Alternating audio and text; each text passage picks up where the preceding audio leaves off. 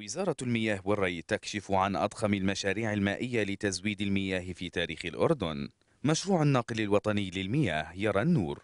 الإعلان عن إطلاق المرحلة الأولى منه. تم بالشراكة بين وزارة المياه والوكالة الأمريكية للتنمية. هذا المشروع انطلاق مشروع الناقل الوطني والتحلية في العقبة.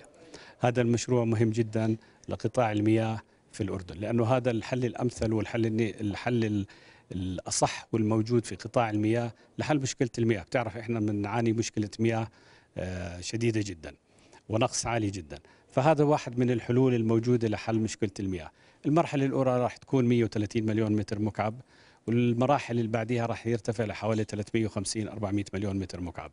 فإحنا هاي المرحلة الأولى اليوم محضرين إحنا كل الوثائق العطاء بمساعدة الدول المانحة والدول الصديقة اللي بتدعم وطبعا هذا المشروع أردني 100% آه، حطيناه بديل لمشروع ناقل البحرين وإحنا إن شاء الله الحكومة الأردنية بدعم جلالة سيدنا راح نمشي بهذا المشروع. مشكلة المياه في الأردن دفعت الحكومة للبحث عن حلول سريعة في ظل ارتفاع نسب الفاقد من المياه. أما الإنذار الكبير أمام الحكومة يتمثل بأن الأردن من أفقر دول العالم مائيا في ظل اقتراب فصل الصيف. تكلفه عم نحكي بين مليار ونص ل 2 مليار.